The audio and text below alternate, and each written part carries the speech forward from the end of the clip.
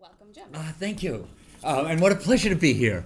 Uh, I gave my very first talk on my very first book in Sid Milkis's class, uh, further uh, further away, and I and I'm a little pissed at the University of Virginia because you've emptied New England of all my favorite people. There's Paul, my former, you know, many years ago, a student of mine, Jen, a colleague, Sid, of course, the bulk work of New England once at Brandeis. Oh, I like that. Um, so I just, I've got a new book.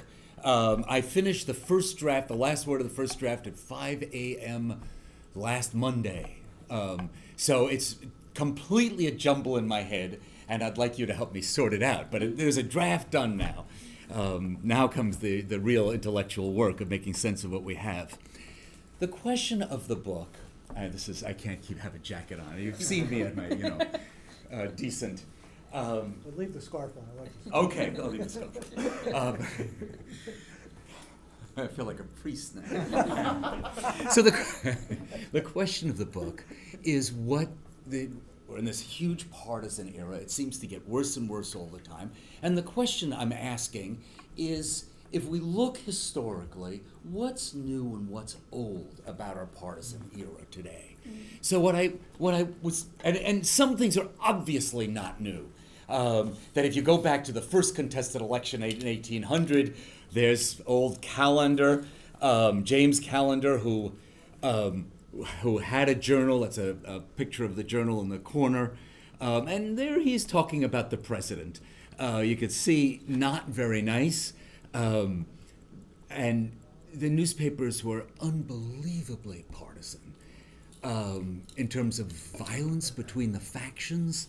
Uh, it was Henry uh, James Henry Hammond who said that any congressman who doesn't come to the House of Representatives with a gun in one pocket and a knife in the other comes with two guns.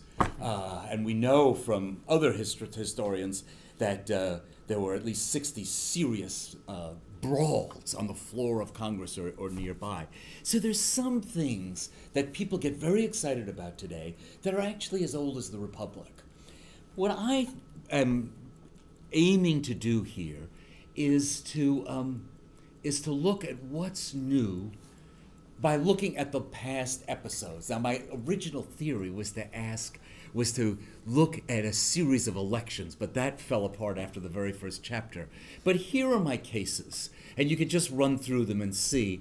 They are by, by and large, I am varying on the dependent variable, I think. They're by and large the great contested moments, uh, great contested elections. Although I tried to go, for example, in 1800 to the point where the contest is over, and actually we have peace after that contest, uh, likewise after 1896, and of course no peace after, say, the election of 1860.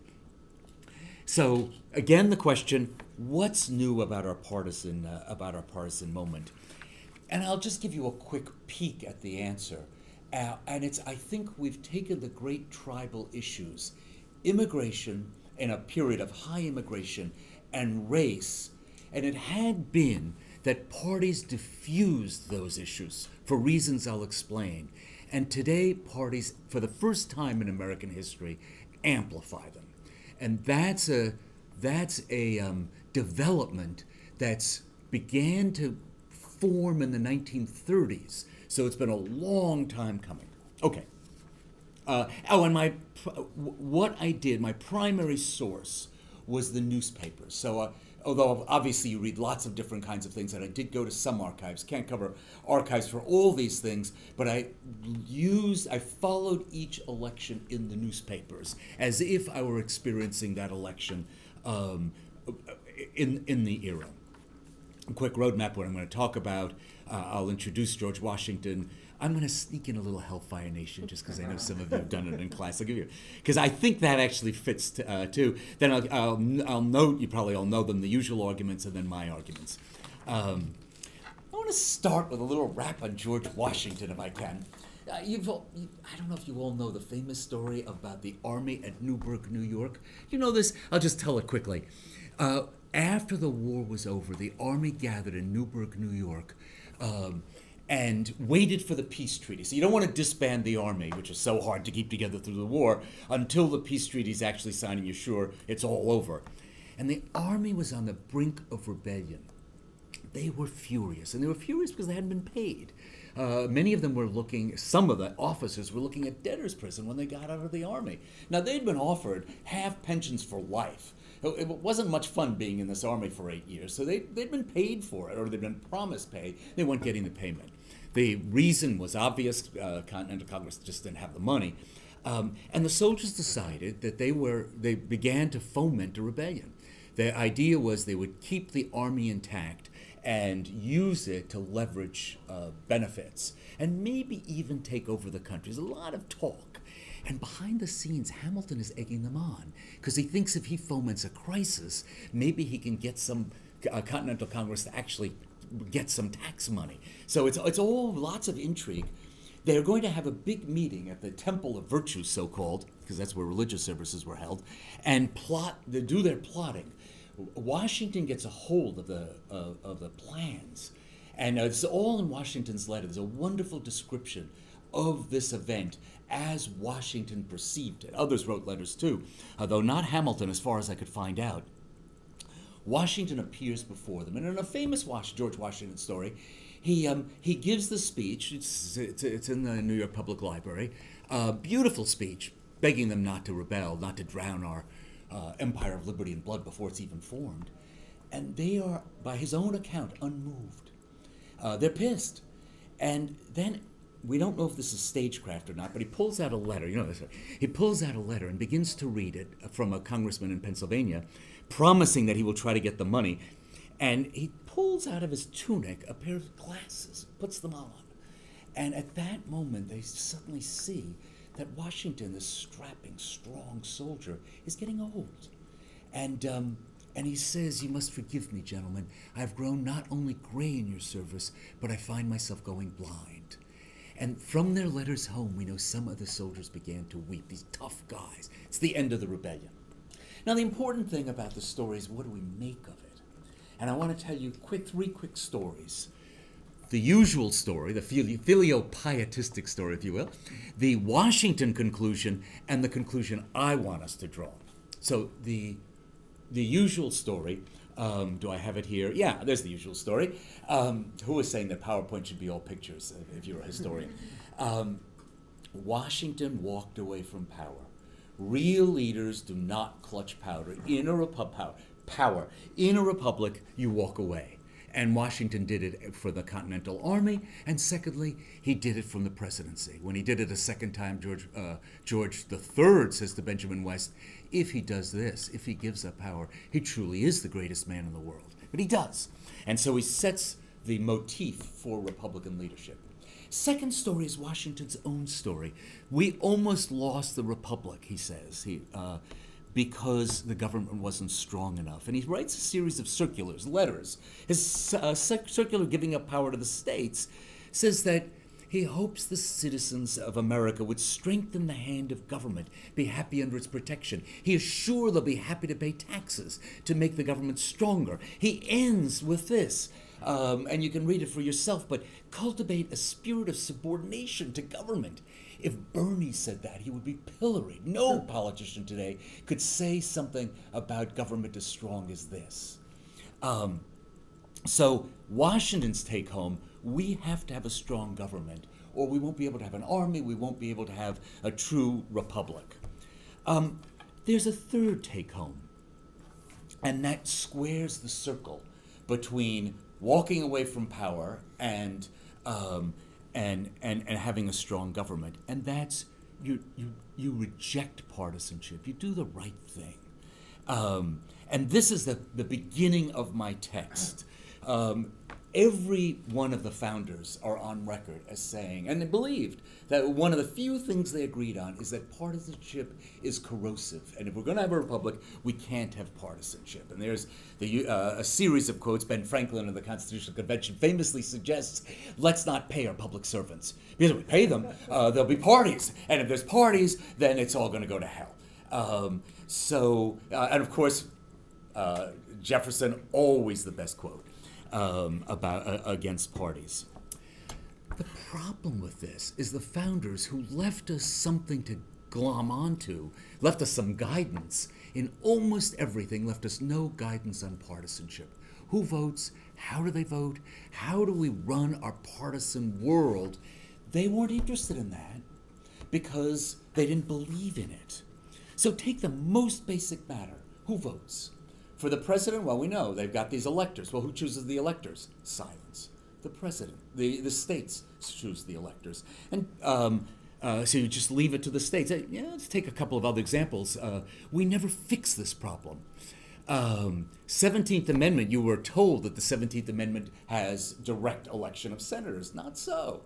What the 17th Amendment says is the states will tell you who can elect senators. If you're an African American in the South, the state says no because you're not voting for the uh, for the legislature. If you're a woman in um, Utah, yes, you may vote for a senator, but not in New York, at least till uh, 1918.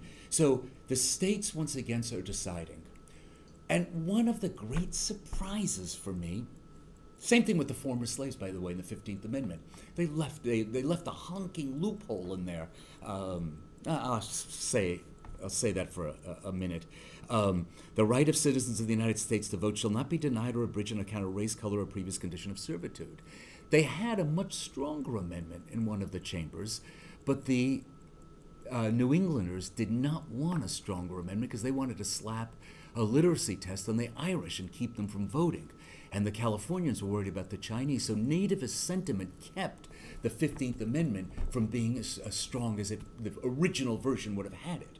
So what is it? Okay, you can't deny on the basis of race, but you can deny on other bases. And we are denying other, other bases. Big debate in not a big debate, small debate in Congress about this, but the clear majority said no, we want to be able to deny the vote. Um, here's the basic punchline the founders never told us about voting, they left it to the states. And what's a, this thing that's se- my second biggest surprise as I did this study was the extent to which it was a political football right from the very start. Um, no partisanship, do the right thing, big silence in what that is, punt it to the states, and the states do whatever is in the best interest of the majority. I have more to say about this in a minute. But it's a political football as soon as we start contesting elections. That is in 1800. And shockingly so. So that's the most striking thing. And that kind of sets up the whole conversation.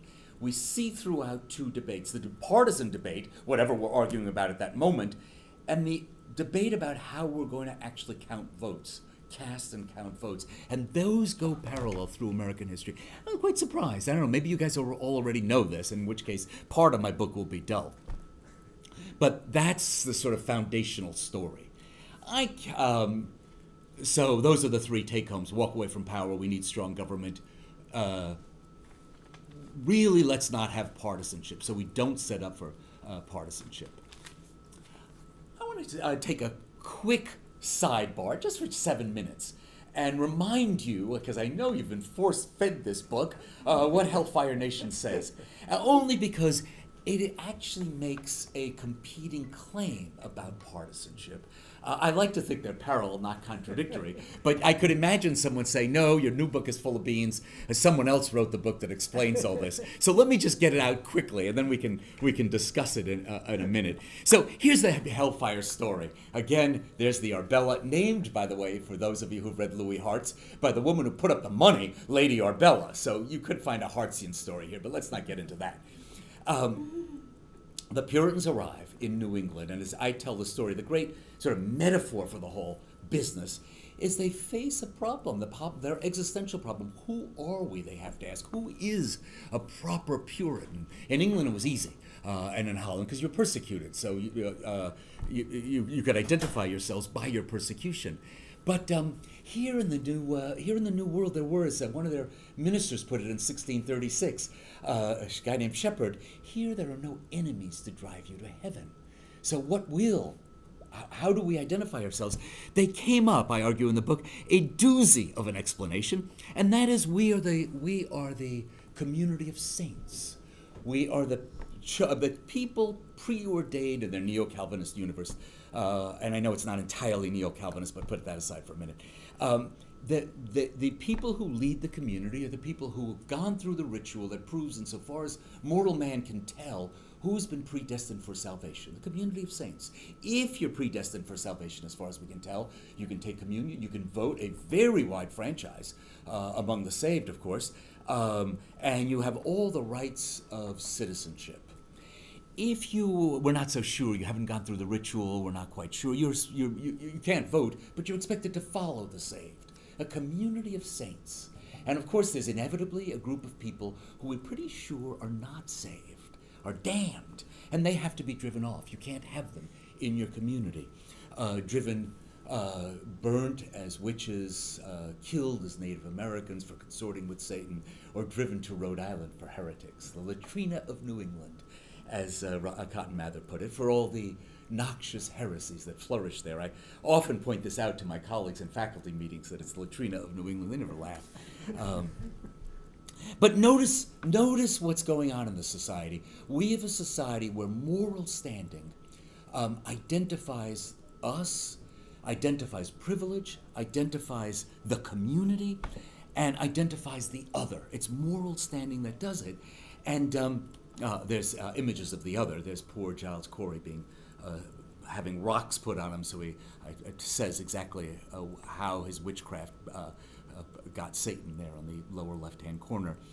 Two final dynamite twists turn this story into uh, more intensity. So we have a moral uh, community, and the first is the famous John Winthrop sermon, about which there's a lot of new scholarship, but let's just take it on its face. Uh, the eyes of all people upon us. Well, if you put eyes of all people upon you, your moral behavior is a public issue. It's not just a private matter. Our whole community is at stake. What happens to our whole community is at stake. And secondly, it was an immigrant nation right from the start, so we might have it right. But Irish Catholics or former slaves or Jews or um, Latinos or Asians or Chinese or Muslims. Every generation has a community coming over. Every generation has a culture war because of this combination of self definition and ideal in this society. And I argue in this book that it touches every public policy that we have this notion of us and them defined by a moral line. Um, I tell my undergraduates a story to pull this all together. We have time for just one story, so I'll, I'll give it to you.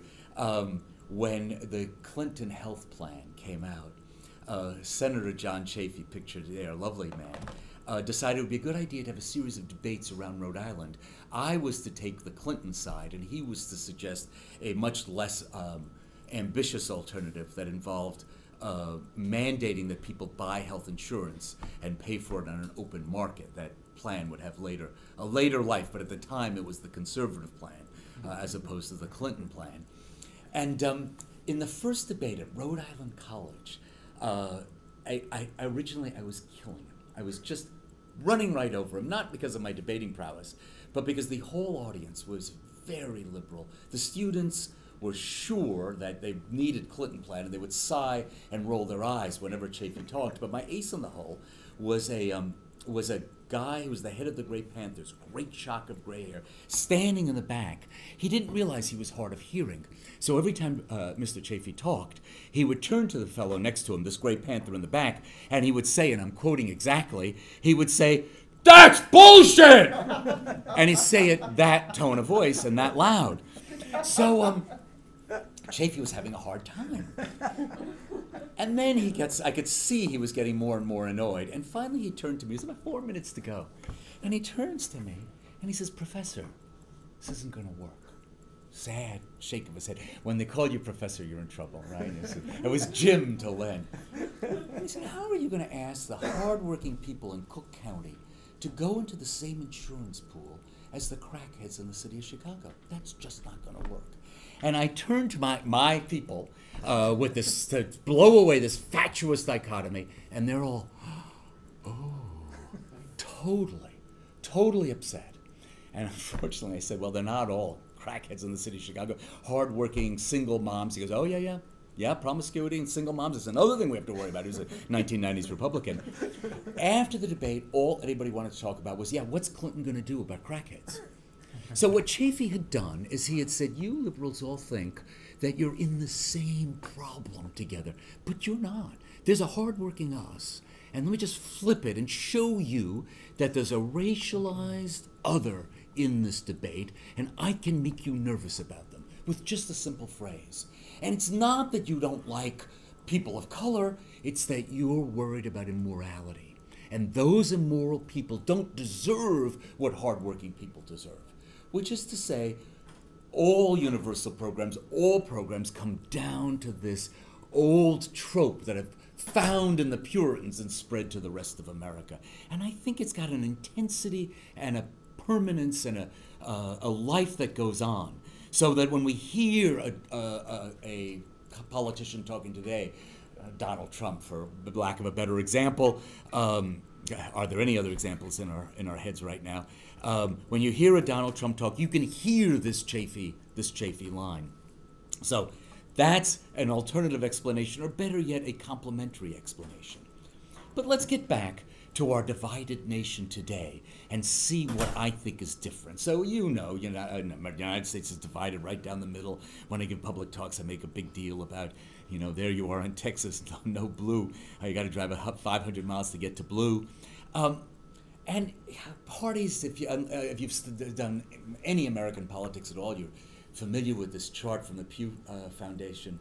Um, look how parties have just gotten such powerful predictors of our values. More than race, more than gender, more than class, more than education. If you tell me what party you're in, I can guess more accurately about your values than anything else you can tell me. Um, moreover, the two sides um, have gotten to be very disparaging of one another. Here's a survey I really like in which people simply ask, um, what do you think of the other party? As you can see, Republicans think Democrats are closed minded and uh, um, and immoral, right? Of course, right. Uh, Democrats think, uh, well, you could see it there for yourselves. Um, they don't trust one another. In, um, in 1960, they did a survey, and 5% of the Democrats would be very upset if their child married a Republican. Today, it's moving up towards 50%. One out of two people, not quite, but almost, uh, believe it would be a real problem. Both parties. So that we've got an intensity, not just in the political elite, as far as I could tell, and I got this from Jen Lawless back when she was at Brown, as far as I could tell, it goes really quite deep into the party bases. It's like the old Italian joke um, the little girl comes home and says, Mommy, Mommy, I want to be a prostitute when I grow up. And the mother goes, What? And they go, I want to be a prostitute when I grow up. And oh, thank God. I thought you said a Protestant. Well, just substitute Democrat. It's the same thing. Um, so why are we so partisan? Sorry. The usual, the usual story is very close elections. That's the yeah. Um, uh, there's the five. There's you. Uh, if you've done any American politics, you're you're familiar with them. I'll just say about close elections. It is striking. We have flipped a, si- a chamber in Congress seven times in the last 12 years, and we just in the last election uh, overcame the 1876 to uh, 18, uh, 17. Uh, sorry, 1876 to 1878 period when it was six flips. But for a 12-year period, we've broken the record. That is to say, we've never had a period where competition, party competition, has been this tight, this close. Um, there's a couple periods that are close, but we are surpassing them. No point working with the other side. If you are in Congress, both sides, so if you talk, if you interview Congress people, they'll all agree with this.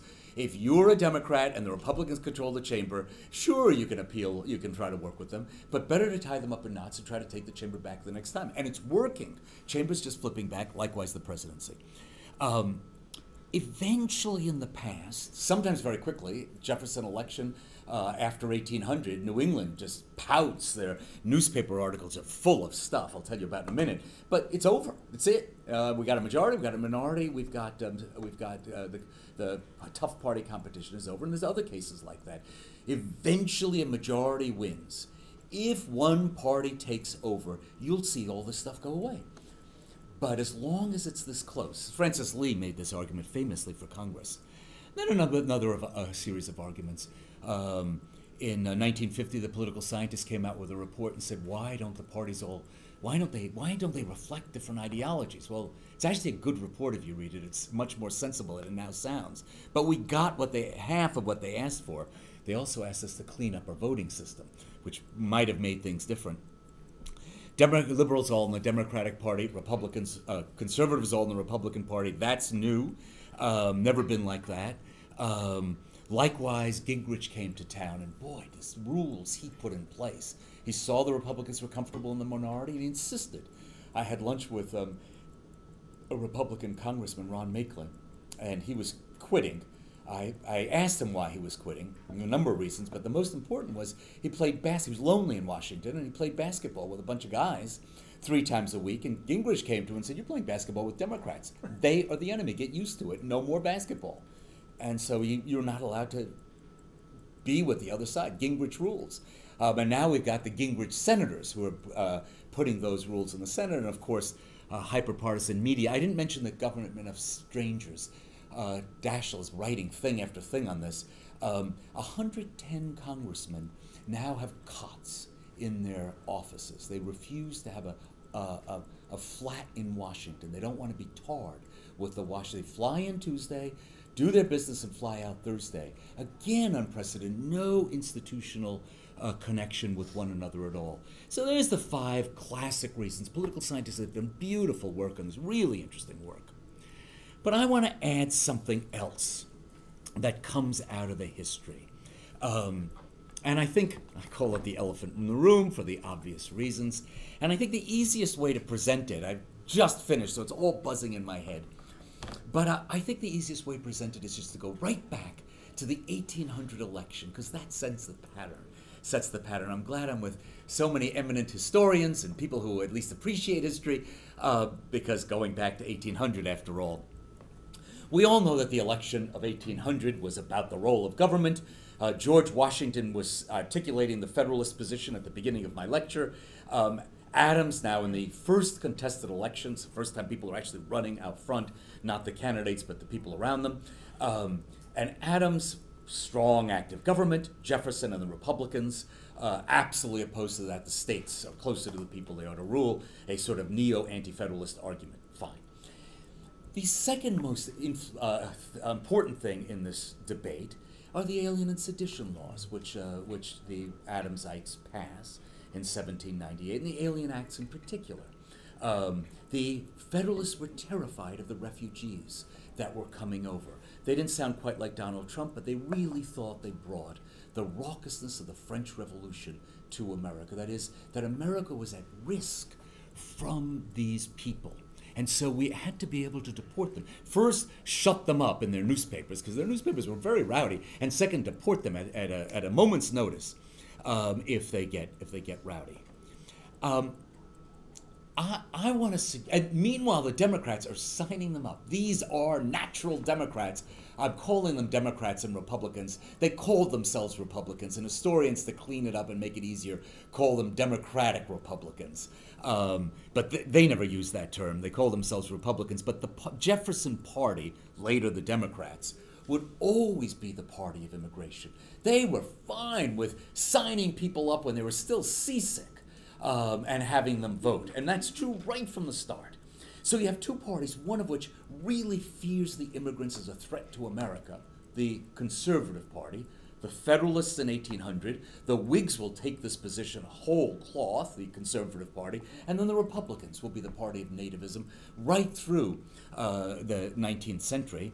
The Democrats always embrace the Democratic Party, um, and they knock the Alien and Sedition Acts in their uh, in their uh, campaign platforms right through the 1860s that we will fight the spirit of the Alien and Sedition Acts, which still abides in the uh, opposing party. The Federalists are dead and buried by 1860, but we're still arguing the Alien and Sedition Acts. There's a third story big government, immigrants, uh, and beautifully divide the two parties. There's a third story that gets lost, but if you were to go back and read the papers the month before the election, this is the story that will catch most of the press.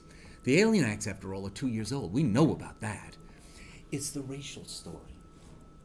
Adams gets all the bad press and is always on the list of worst presidents because of the Alien Acts. But if you were to just the civil rights story, Adams would be one of the more enlightened presidents. He makes, in 1791, there's the great re- uh, rebellion, the slave rebellion in Saint Domingue. Um, and in, sorry, yeah, there it is. And uh, it terrifies the Jeffersonian Party because here are slaves who have killed their masters, fought the English for four years. The English took heavier losses in Saint Domingue, given that it was only four years, than they took in the American Revolution.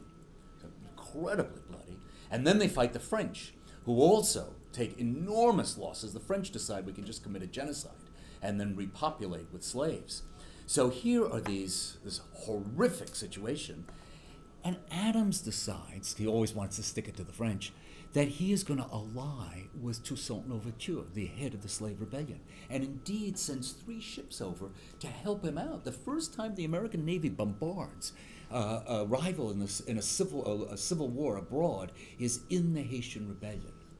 They create a treaty known as Toussaint's Clause, in which the Adams administration makes a trade treaty uh, with the re- re- slave rebels. The Jeffersonians go crazy.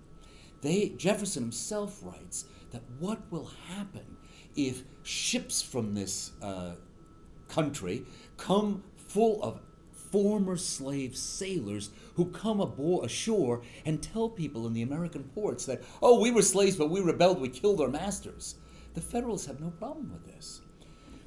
This becomes particular. That's 1791. It happened a while ago, but the month before the election, Gabriel rebels in, in, in Virginia.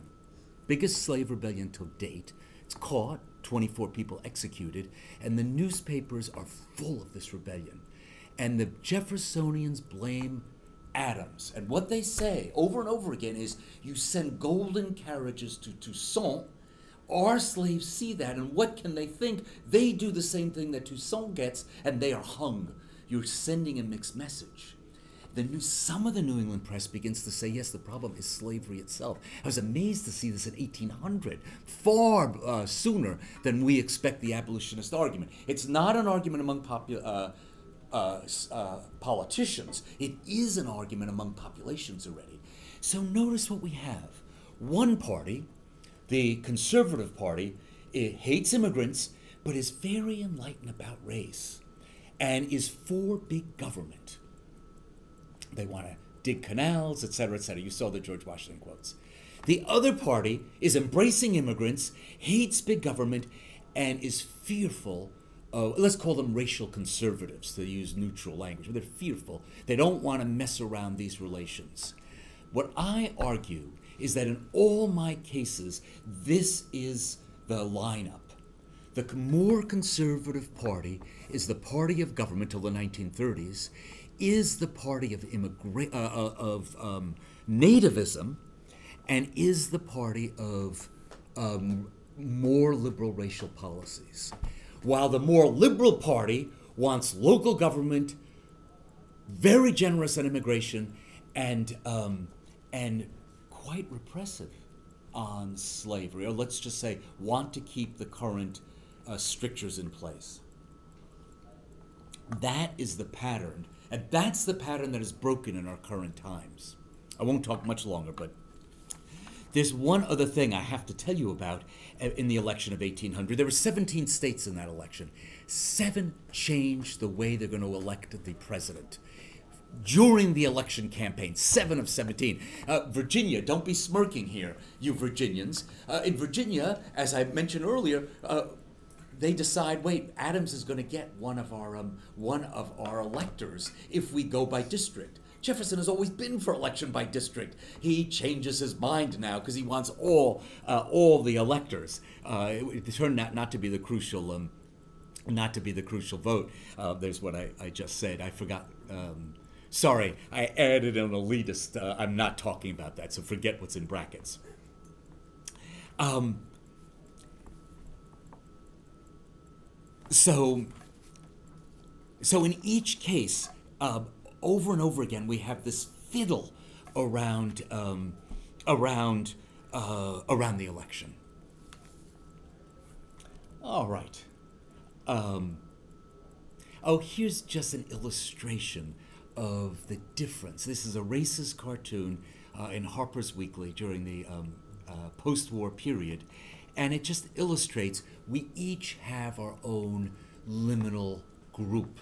You Republicans have African Americans, we Democrats have um, the equally liminal uh, Irish.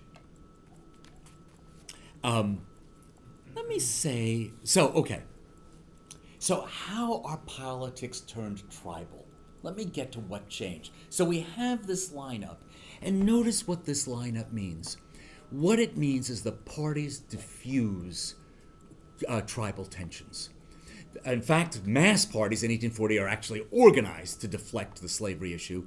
But since either parties or party factions each hold a different liminal group, you wanted the question, who are we, that old Puritan question, that isn't answered by party politics. Insofar as party politics is crucial, it diffuses, um, it diffuses the uh, tensions. You know, let me back up and make one more point, if you can, if you can tolerate just a. There's one point I went over lightly, but let me make it a little bit more strongly. So I said there were three things in play: immigration, race, and belief in strong government. This was the th- was a thing that surprised me most, and I, I, I, think I should say a word about it because it's the it's the uh, it's the most difficult thing I've come across, and I'd like your feedback on it. Um, the thing that most surprised me was the extent to which the anti government impulse, the dread of government, to coin a phrase, was tied up in the fear of race. So the party that resisted the government was always the party of white supremacy, to just put it baldly. Let me just give you a couple of examples. Of course, you worked through and example after example, but I was struck by this. It's true in 1800, as I've just suggested. By the 1840s, John Quincy Adams, an irascible congressman now, ex president, writes again and again to his colleagues that slavery is palsying the hand of the nation because we can't get anything through Congress because the slaveholders block all strong government action. They think if you can do this, um, you can then free the slaves. Just, I'm just going to give you a couple of examples to give you a feel for this. In the Confederacy, if you read the Confederate Constitution, it goes word by word for the federal Constitution, except, of course, it puts slavery in there front and center. But does something else. It says, when you, uh, in the enumerated powers, it says absolutely no using interstate commerce to increase the power of the federal government. They're very clear that they want a highly limited national government. William Jennings Bryan, in the next uh, case, you resist needful government action, he argues during his incredible election campaign to the Southern Democrats, because you're afraid your Jim Crow laws against the Negroes will be abolished by the general government, as if your personal objection to riding with Negroes should interfere with a great national reform. What I found over and over again is two strains that have been interlinked wrote a whole book on this and missed missed the point. But um, the the fear of government is all mixed up with racial fears. I've never seen the extent to which to which that that is the two are linked. Goldwater comes along in 1964 and really illustrates this. Here is a man who, insofar as you could say this about anyone, really had no racial prejudice. He was genuinely open minded various stories that tell this. Even Martin Luther King said he admired his racial views. But he's elected in 1964, and you read the 1964 campaign, and it is a festival of segregation. The uh, African Americans who are at the um, at the 1964 uh, uh, Republican convention write harrowing stories in the front pages of the black press. Jackie Robinson uh, talked about feeling like he was in Nazi Germany um, and another, uh, another a black reporter, Belva Davis, talked about uh, bottles being thrown at her as she tried to escape with people yelling the N word at her. That this was, that here is Goldwater, this sincere conservative, but he says nothing as the segregationists climb on board. This is the, this is kind of the difficult story. I'm not suggesting the two are the same, I'm suggesting that the story of anti governmentalism has gotten its political juice from racial fear. uh, in case after case, and I realize this is going to make this book quite unpopular in some circles. So let's just talk about how we get to here today, and let me then turn to you guys for advice, questions, brickbats, whatever. The traditional ah wow we're back at the Federalists. Okay, well there you can see the um, there you can see the summary yet again. the Republicans, the Re- African Americans. So it begins with African Americans switching parties. African Americans are Republicans. They always vote Republican. Um, uh, a very strong vote. But in 1908, this is Taft's inaugural address. You can read it. Um, the Republicans basically wash their hands of the African Americans, but they still get the vote. Um, in 1932, African Americans begin to switch. The Pittsburgh Courier, the black, one of the great black newspapers, actually endorses Roosevelt. And they say, we know it's a segregationist party, but we just have gotten nothing from the Republicans. The Chicago Defender responds and says, no, you can't. You can't do that. The other, the black newspaper in Chicago. Uh, but we're very unhappy with the uh, Republicans. In 1936, Republicans begin to move. Uh, I'm sorry, African Americans begin to move into the Democratic Party. Um, now, this is a story, partially because of the benefits of the New Deal, partially because of local democratic organizations in the cities who are pushing, who are recruiting African Americans who've come north and who now vote, are recruiting them into their parties and are creating a crisis in the National Democratic Party because all of a sudden these African Americans and liberals who want to change the segregationist party policies. And so what you have is a battle in the Democratic Party that lasts between 1936 and 1964. This, uh, in 1936, for the first time, uh, the, uh, a black Democrat gets sent to Congress. Before that, it was all black Republicans. Um, this goes against the great book written by Ira Katznelson, which you've probably seen. Ira's brilliant book, iconic book, says the Democratic Party was a party of Sweden and um, South Africa, and that everything went through this filter. And you, people who uh, idolize the Democratic Party, Sid, uh, idolize the New Deal, are really just wrong because it's really a racist period. It's probably putting it a little strongly, but not very. At a minimum, it's a party divided between two impulses. In the longer view, I would qualify that. And I'd say what has happened is we have a pure segregationist party that beginning in 1936, because of what's happening at the local level, not the national level, begins to bring African Americans in and sees a battle for the African American vote. Moderate Republicans in the Northeast realize this is a life, uh, a life and death conflict for them too. The John Deweys of the world know that if they lose the black vote, they're over. And so you have this huge battle in the Northeast. And here's the African American vote.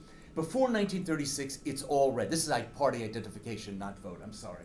Uh, reconstructed recently by political scientists.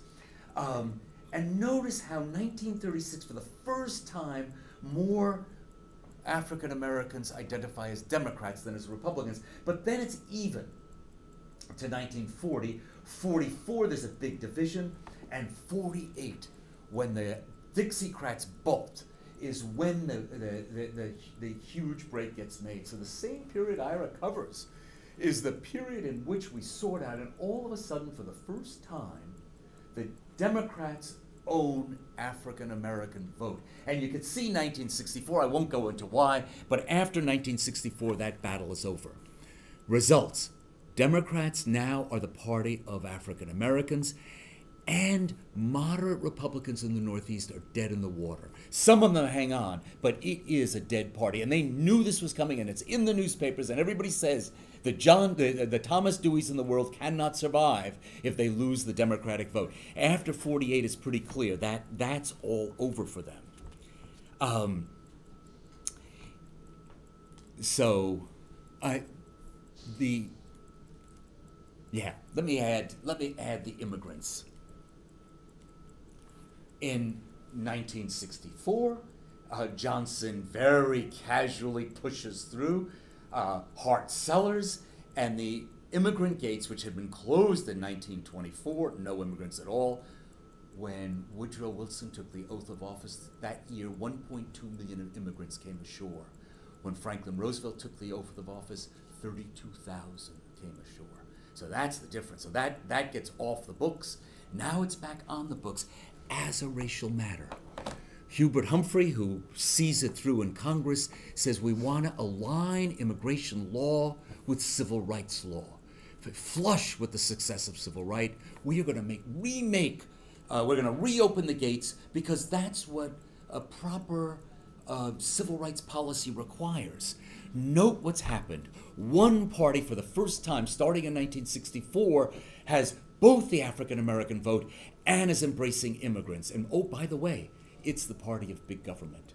And so, for the first time in American history, we have a party of big government, a party of immigration, and a party of race, as opposed to a party where you could call it the party of no, no, and hell no, or you could call it a party of people who consider themselves white nativists, people who consider themselves white, and people who are very suspicious of the federal government. There's the white vote for the Democrats after 1972. It's gone.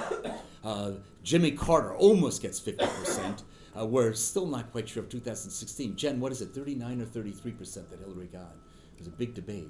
So of the white vote. Yeah, so it's probably closer to the high end. High, higher end, but still, you can see white people stop voting in presidential elections. There's much more to say about this, but let me just put it uh, put it in that narrow way. And here's what it looks like today: the class of 2018.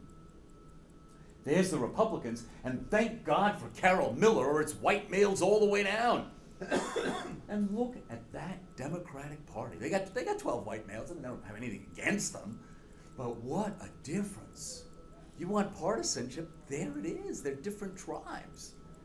Um, I did not tell the gender story, partially because I was intimidated by Jen being here, but partially because there's, it's just uh, it's, a, it's a much more messy story. But there is a gender story running through this now.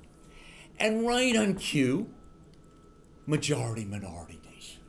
Now, those demographic projections are highly disputed, but they've gotten out. So not only do you have a party of people of color and all those other tribes and white people, but in the context where the Census Bureau is saying by the year 2060, white people are going to be 43%. So that we have at this very moment enormous pressure on what whiteness itself is. So here is the perfect storm for real tribal conflict. So, uh, uh, aside from all those other things I talked about, like really close elections and so forth, I think what gives this intensity, what gives our tribal moment its great intensity, is that it's a racialist moment. And we have not been set up for that. We don't have a tradition of the parties sorting themselves out on this tribal line. They've always deflected that, as I've been saying through the talk and um, and now they are not just not deflecting it, they're mainlining it right into Congress. I mean, you can see this and right into the presidency. You can see this happening. Those two tribes are going to feel different, not just because they have policy differences, because they are different people. Uh, now, I know there's people in the middle and so forth, but I think this racial thing is very powerful, and we're, we're not giving it enough due. So here I think are the great differences. There's a racial sort, there's a demographic sort, there's a gender gap. I haven't talked about that, but boy, it's gotten big with Trump. Um, and um,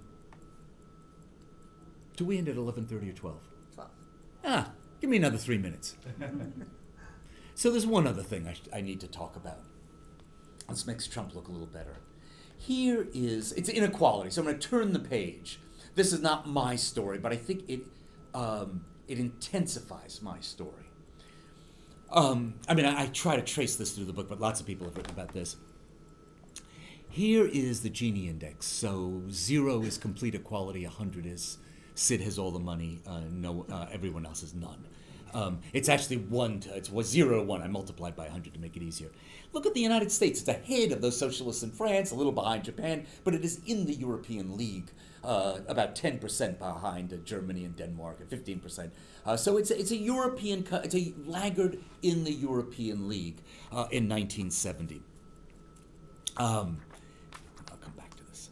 Um, and then if you look at the latest set of numbers put together by the CIA, the United States has, uh, that was 1970. Uh, the 1970 column is to your left. And, uh, and you can see the second column uh, is the, the latest uh, international statistics. Look how the Europeans have basically kept, some have even become more egalitarian despite all the angst there, because there's a lot of pressure on their policies, but not the United States. The United States has become enormously inegalitarian. Indeed, you would no longer talk. It used to be that the idea of comparing the United States to Brazil was silly or Mexico. Now, you would, we're playing in the Latin American leagues, not in the European leagues. Indeed, we are closer to Lesotho, the least egalitarian country on record, than we are to Sweden, the most egalitarian country on record. Now, you're perfectly right to challenge the data from Lesotho, but nevertheless, uh, I think the data from Brazil and Mexico is probably pretty firm. Um, and we've become, and certainly the data from the United States is pretty firm. Likewise, social mobility, the same thing. So, what we've got on top of all this is enormous move towards um, inegalitarianism in the United States. And the question I keep asking myself is, um, as I was writing this book, if you have this kind of change, what kind of effects does it have on the public? And they you can't go through this immense change in relative income and not have terrific changes in the general population and just the voting population. Bottom line contemporary politics is divided. The usual explanations I gave you, the elephant in the room, I believe, is race and immigration. That is intensified by minority, minor, uh, minority and also by the gender gap that has developed between the party and inequality that the nation is changing in these fundamental ways, and the parties are identifying the two poles of the change. Uh, when you look at these uh, statistics, uh, the the Democrats explain, back up a second, the Democrats explain what's going on in party politics. They explain uh, Donald Trump by saying, well, it's the status anxiety of, of losing whiteness. And this this story would fit in well with them. And indeed, a Democrat might tell the story that Trump is the last gasp of whiteness as we hurtle to majority minority there. Um, Republicans would might tell a different story, which is Trump heard the cry of dislocation that comes from this. He didn't actually look at the inequality data, but he felt the pain that comes from inequality. I remember being in a, a TV studio on um, um, on Super Tuesday. And what did Trump say? You're hurting because of the Japanese. Well, he had a di- he he put his finger on a problem. His diagnosis you might think is ridiculous. The Japanese really, um, but he, he felt this in some way. What did Hillary did say? We did it. We won. But no diagnosis for this.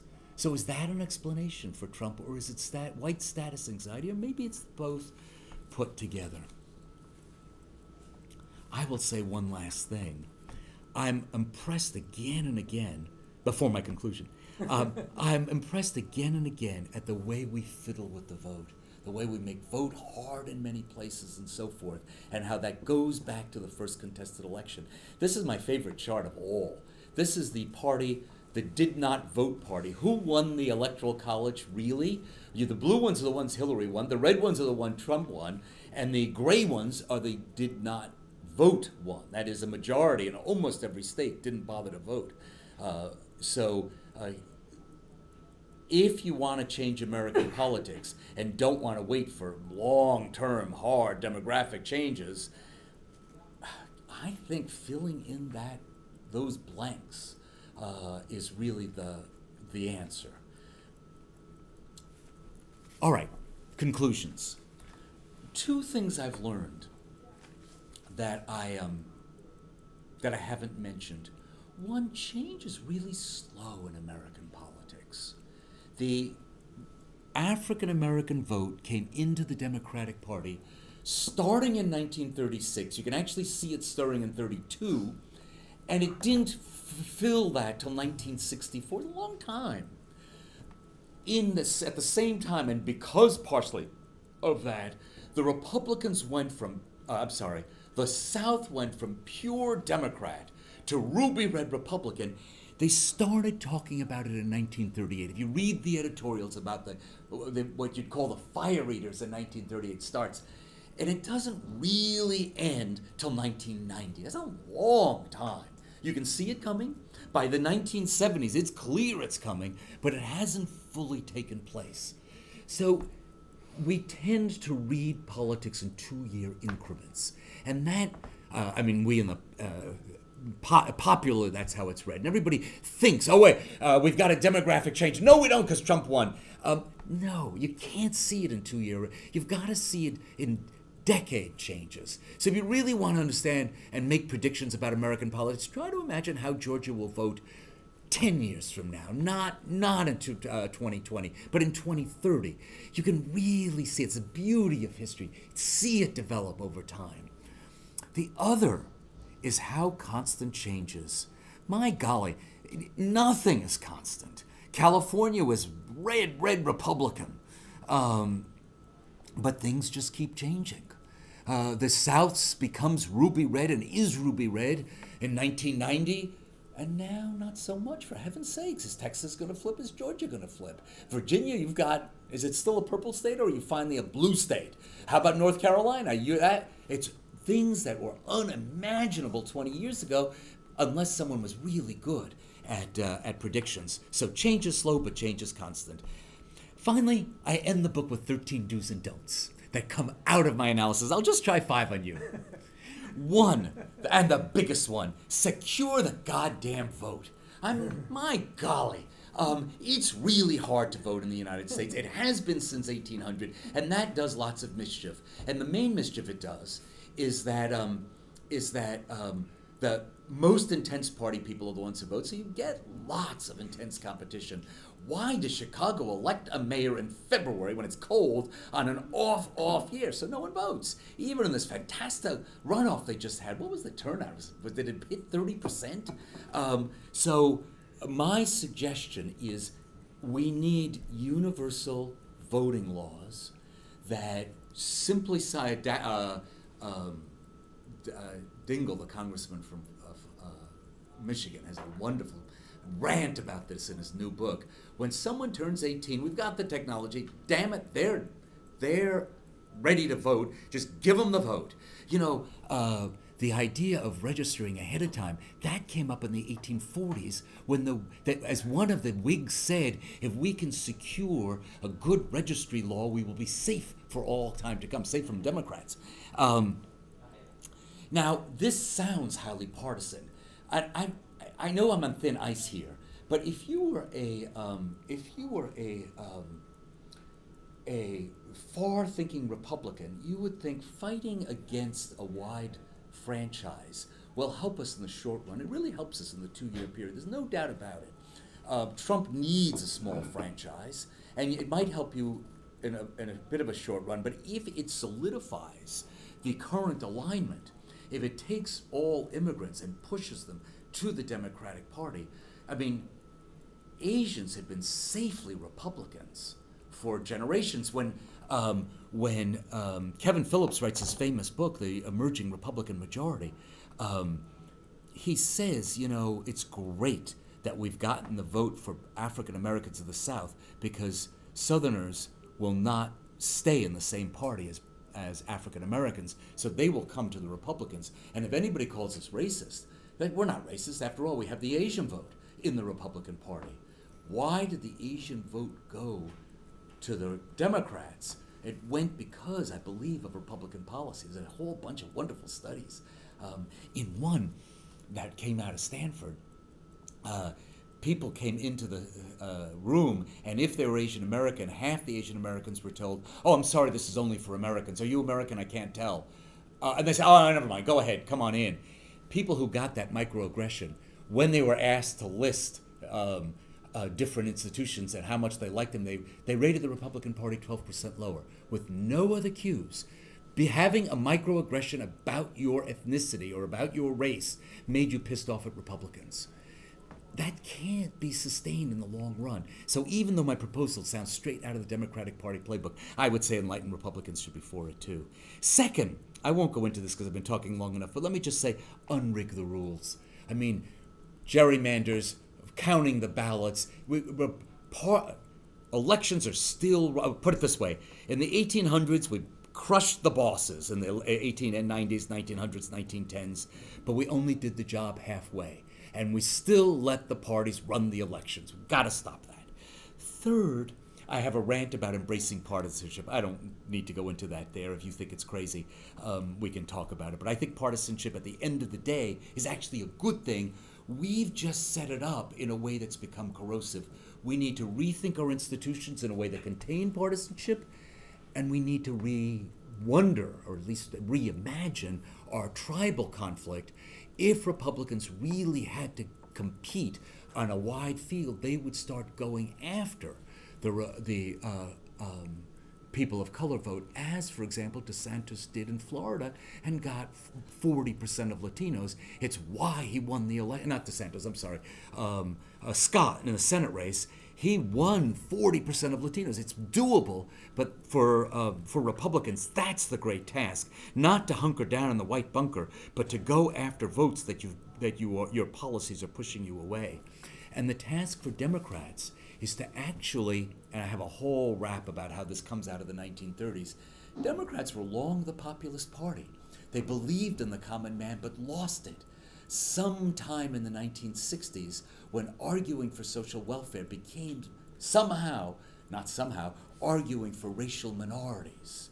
Democrats need to see that inequality chart and make a set of policies that actually speak to our present condition rather than just counting up identities and saying in the long run we've got the right identities, we should win. Um, and that means, civil will like this, I'm pandering to right near the end. Um, that means going back, going back to the, um, to the original, I think, democratic vision from the starting in the 1890s, going right through the 1940s, the democratic vision that was lost through that period. I think it's the populist vision. Okay, let me stop there.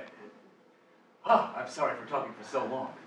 So we'll turn it over to questions, but I'll go first. Oh dear. Um, so I have two, like Uh-huh. a question and a comment. So the first is, if newspapers are the main source of information here, I'm a little surprised that it was sort of such a linear story toward partisan tribalism because like 1940 to 1980 was this golden age of journalism, right? Where the part where the newspapers themselves and the editors were specifically saying we don't want to be partisan. Yeah. So even if there, so, so I guess the question is, what kinds of papers were you looking at and how did you sort of systematically draw these conclusions? Because they seem to fly in the face of the trends in the news industry. Yeah. And then my other question is, um, I mean, like, it seems like you're sort of working from the premise that it would be good if everybody could hold hands and sing kumbaya. But, you know, I look at this map and I feel like, uh, or Oh. the, the red, the, the really bad. Oh. Um, you know, I look at these maps and I feel like, well, the Democrats and the Republicans genuinely believe different things. I, as a Democrat, don't want to appeal to these Republicans. I don't want to um, move my positions in any way that could potentially woo some of them because I actually think they're fundamentally wrong on all of these issues. And I'm sure there are Republicans out there that don't feel like sitting at lunch with me. And so I guess I'm just wondering normatively, like why this is a, a problem. If we can get rid of the racialized rhetoric and if we can sort of stop being so hate-filled, why are the policies themselves such that it wouldn't be okay to have partisan warfare just conducted in a more civil way? Absolutely. Um, so I totally agree with you. I don't think we have a problem. Uh, I, let me start with the second question because I think that's one that I've thought, spent a lot of time thinking about. Um, Democrats and Republicans believe different things. Yes. Uh, should they sit down and sing kumbaya? Absolutely not. I think partisanship is a good thing. So there's a whole set of answers that um, that say, well, let's find a way to bridge the partisan gap. Absolutely not. I oppose all of them. And so in that sense, I agree with you. And we'll probably get disagreement from other people uh, in this room. Um, but here's what my story tells. Starting with George Washington, we said we don't like partisanship. And I believe to this day, a lot of political science literature on this, Americans are sort of uncomfortable about it. Now, I don't care if you're comfortable or not. We've never set up the institutions for intense partisanship. So if you have intense partisanship, fine, I'm all for it. But not if the intense partisanship leaks into the mechanics of voting uh, and the mechanics of our debates. So I'd like to distinguish two different things, really. One, elections. Um, have partisanship as, as intense as you want, but you can't have a case where an election in 2000 gets decided by registrars who are picking votes up and saying two to one along party lines, this is a vote, this is not a vote, on pure party lines. If you have intense partisanship and you have robust institutions, no problem. But because our institutions weren't built for partisanship, partisanship in the vote count, in the mechanics of elections, is eroding the, the, the democracy itself. And it's worse. I think that is also true in the organization of Congress, um, in the organization of the courts, in the organization of all our institutions. They're built on the assumption of bipartisanship. The Senate doesn't operate without bipartisanship. I'm all for partisanship, but we have to rethink the institutions so the rules are clear. I, I think um, uh, uh, uh, Pearson got this right when he calls it Calvin ball. We don't have rules, we have Calvin ball after Calvin and Hobbes. We just keep changing the rules. And what surprised me was that's been true all along. We've never set up the rules for partisanship. So that's my big take home. Uh, I didn't have time to go into it, um, but in partisanship, uh, I make a big plea at the end for no, let's go at it. But we have to go at it once the rules are clear. So I think we're in agreement. The journalistic story is very interesting. Um, I tell I um, um, telescoped. What's the opposite? Microscope. Uh, so I told the story from 1830 to, to 1990, like in one breath. So let me let me play it out a little bit more. Um, the move of African Americans into the Democratic Party was really quite slow, um, and it took a couple of big bursts. But 1932 to 1948 is a pretty slow movement, and in that year, there's no doubt the journalists are very sober, boring really, and the news media. You know, if you go down and watch, which I did with some of the TV shows, you know, we've got the we've got the um, um, the, the rule that says you've got to have uh, equality. You have Rush Limbaugh, you also have to have uh, Jen Lawless. Um, so uh, the, um, the immigration story is even slower. You don't see much debate about immigration in the 70s uh, or even the 80s. It takes a while for that to develop. So the story of partisanship I'm telling, you see it beginning in Congress in the 70s, and it was quite slow. It really hits in the 1990s. It hits in California with the proposition in 1994, and then uh, in the election, in the uh, Republican election in 1992 uh, uh, and 1996, that's when it really hits. And it's just at that moment that the media becomes really partisan. So this all really comes together in the Clinton era. And it's usually said, well, Clinton, and that was the 1960s you know, the Clintonians, they were such 1960s people, it made people crazy. I think that's a superficial story. I think the 1990s are when this finally, this long trend really comes home. And of course, it's just when the Fairness Doctrine gets repealed, in 1986, and the Reagan era, the technology permits this multiplication, and it's in the 1990s, just when we get this tribal difference, that we also get the explosion in the media. So you're absolutely right and I've got to figure out a way to. stop right there. Let me just say, I've got to figure out a way to present that in 45 minutes. But this is my first crack at it, so you've helped me out a lot. Maybe I'll skip the Hellfire talk next time. Yeah. Somewhat anticipating, but this, this slow, dramatic change. But I want to go to the two decades prior to 36 and to think through some of the changes that are taking place there and maybe more clearly identify well, why does this framework between immigration and race break down in the early 30s? and I mean, there's a few things that are on my mind. I, am thinking about Republican efforts in the 1920s to build a Republican Party in the South. I'm thinking about enterprising black Democrats including Du Bois, who endorses Wilson in 1912. Uh, and so, like a series of failures for either party to accurately capture the black vote. And one of the things I wonder if it just boils down to is migration. Like we had, we had this huge exogenous shock to the system where not only does this framework hold in, in the kind of general partisanship between immigration and race, but it's also geographically separated. Like you could have that Mhm. framework work because blacks were in the South And not voting. and not voting. And once they left, it now became a problem that you had to confront in the Northeast. Like that's the that's the catalyst, that's the critical juncture, that's the shock to the system. So I'm wondering, because I know it's out there from, from research I, Sid and I have done in the black newspapers, if you found anything on how local partisans are responding, I guess this would be particularly interesting from um, Northeastern Democrats responding to the Great Migration.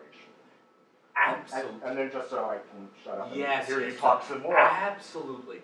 Um, you're absolutely right. Now, you know, I'm trying to get all this in 45 minutes, so I'm giving you the big trend line.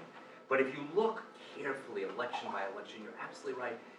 What's striking about, um, so it, it's really, um, the Republicans become, re- they get that race is just not an issue for them. They don't need any black votes. And once 1890 comes and the black vote is suppressed, there's a, a quite remarkable story where um, there's an awful riot in Wilmington, North Carolina. The, Demo- the Re- Republicans have won in a fusion campaign with populists, and finally they're just massacred. Um, and, um, and the Democrats take over in a, in a slaughter. Uh, we don't know how many people were killed, but um, there was ethnic cleansing. That is, the about uh, a thousand of the community leaders, about 12,000 African Americans, are told you have to leave town. And they're all very explicit. Uh, the, um, the next three weeks later, McKinley does a tour of the South. It never mentions that.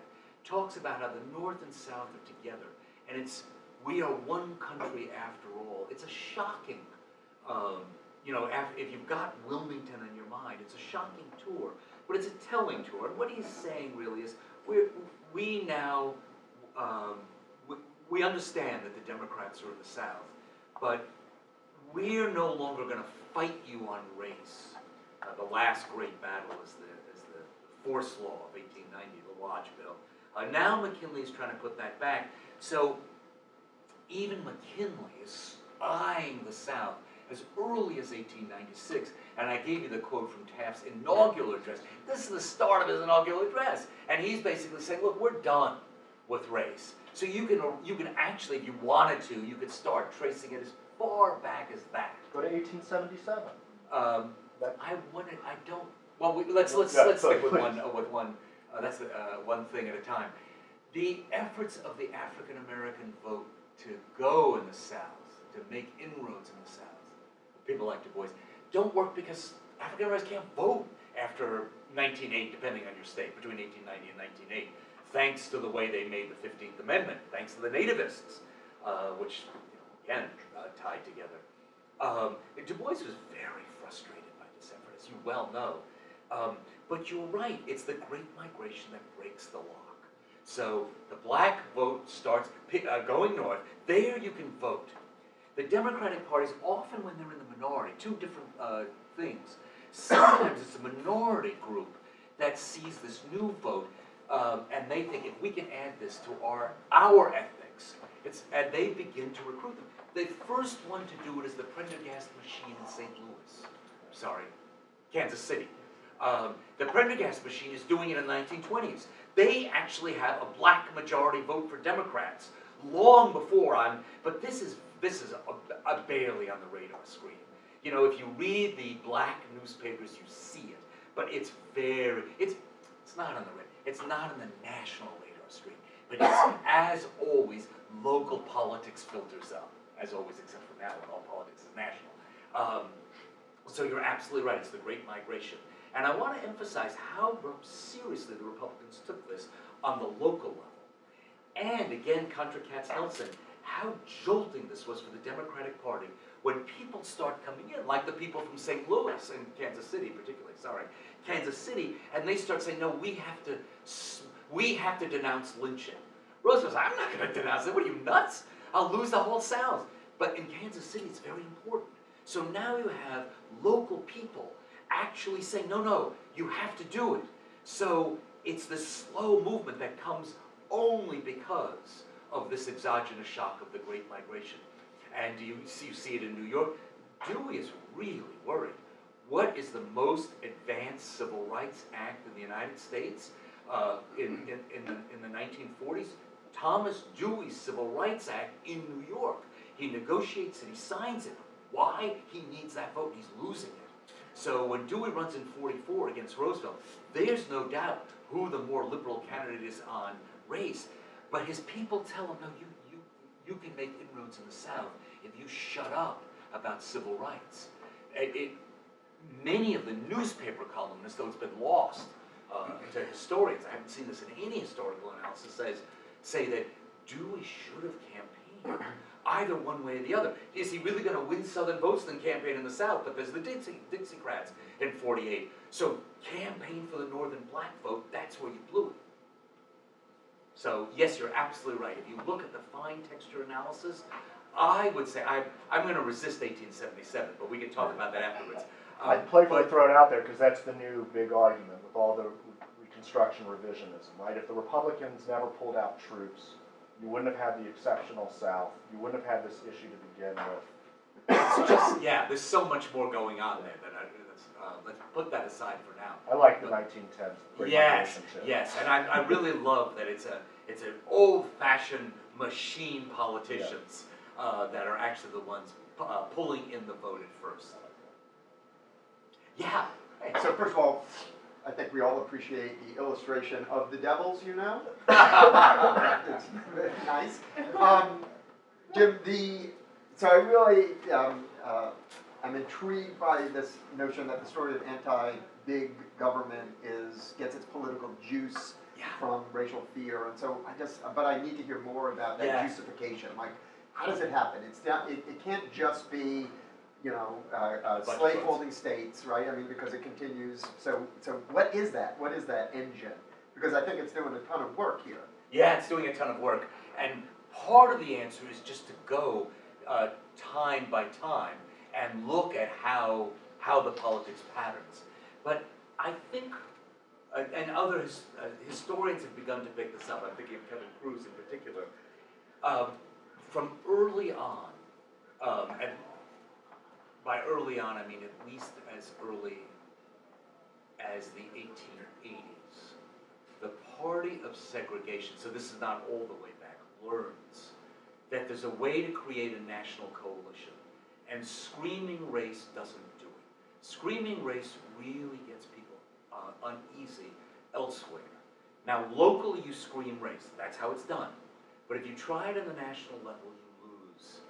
Um, and so, what people find, and they find this generation after generation, if you scream states' rights, personal liberty, you are part of a national coalition. It immediately gives you allies. Insofar as racism is celebrated as racism, Northerners and Westerners don't want any part of it. So it's the coalition creating machinery that does it. So I want to emphasize that these are two completely separate trends in American politics. In none of my cases, though, are they separable. That um, people who want to keep current race relations, usually repressive, find that the only way they can build their coalition is by talking about personal liberty, and that's what they do. Um, it's just interesting, right back to the, um, to the 1800 election, you already see it. The state's argument is already quite strong. And, um, it's interesting the way it comes out after the election. Callender reveals in 1802 that Jefferson has been sleeping with a slave, the very man that he paid to write stuff about Adams, uh, through using State Department funds, by the way, talking about the media. Um, and it's interesting to watch how the press responds to this. In New England, there's outrage and delight. Um, they just hit the story again and again. Jefferson was carried into the Temple of Liberty on the, on the uh, shoulders of slaves to the electoral college, but also he's making more voters. Um, even John Quincy Adams writes a dirty limerick, uh, and in the South, it's just um, it's not a story told, or in the in most of the country, it's not a story at all. It's not something we want to touch. Um, so race is not enough. It, it, it's this other. thing. Anyway, coalition building is the short answer. Yeah. Uh, But that's good, and I'll have to put that into the talk next time. It's very helpful. This is great. So far, this is really helping. There's so much here, Jim. So we'll have to talk a lot about this. Yeah. But, uh, so I, I just, just want to pick up was the, the- the newness. part. Um, And just make one one quick comment, is that Nick and I have been doing work arguing that neither party is a party of small government. Oh, The interesting, Conservative yeah. Party against, uh, the Republican Party against begins back in the sixties, embracing things like law and order. Uh, so, it- and now, with- with- with, uh, strengthening the borders, building the wall, immigration policy. uh, Example. Yeah, I argued that in Hellfire Nation, so I'm certainly sympathetic to it. Yeah, right. I mean- Religion and the Christian right. Yeah, yeah, yeah. Part of this. abortion. So, and that raises the stakes.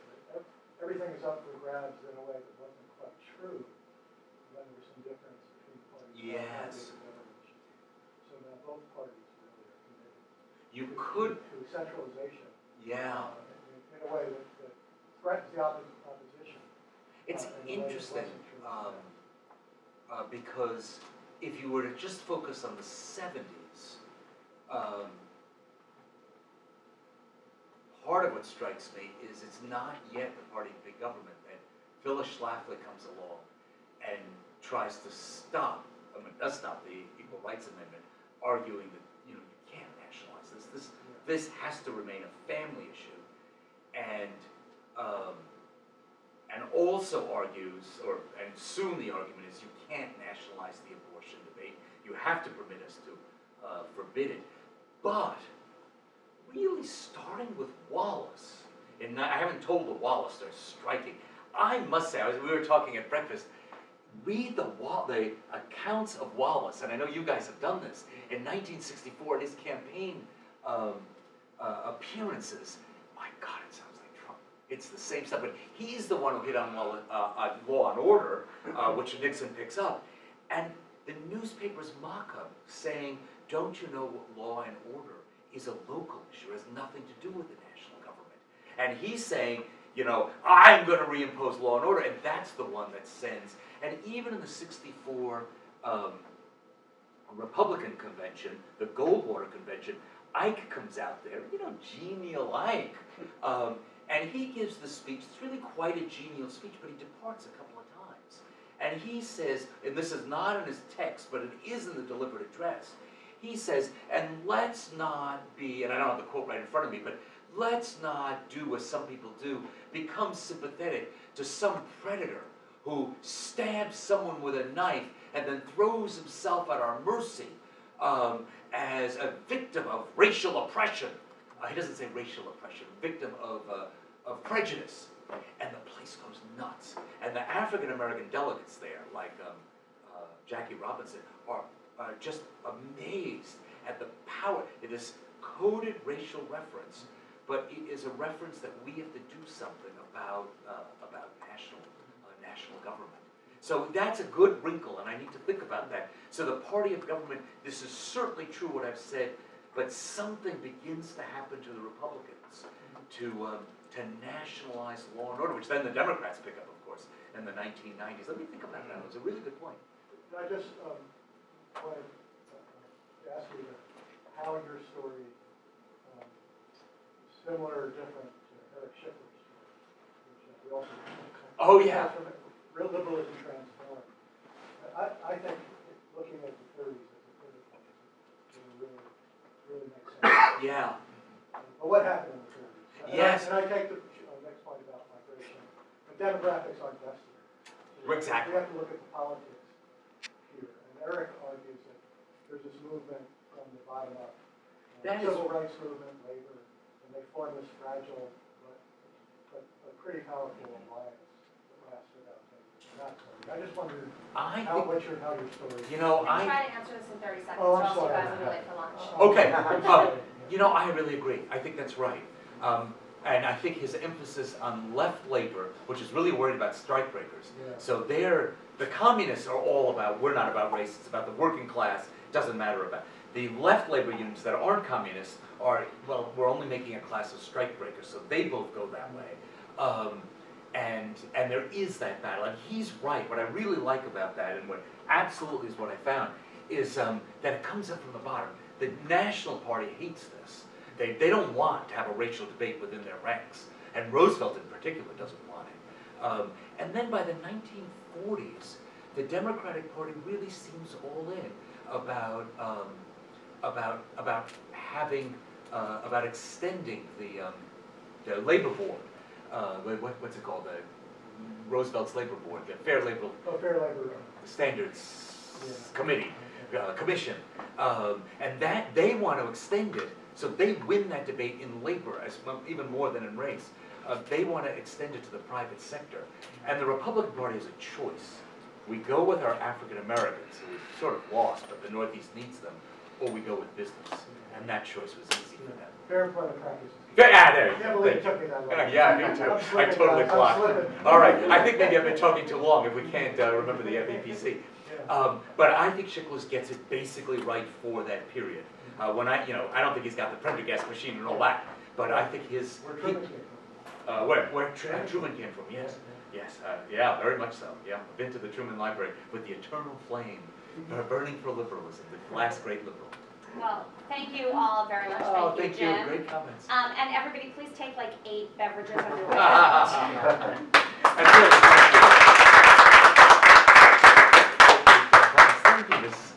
you.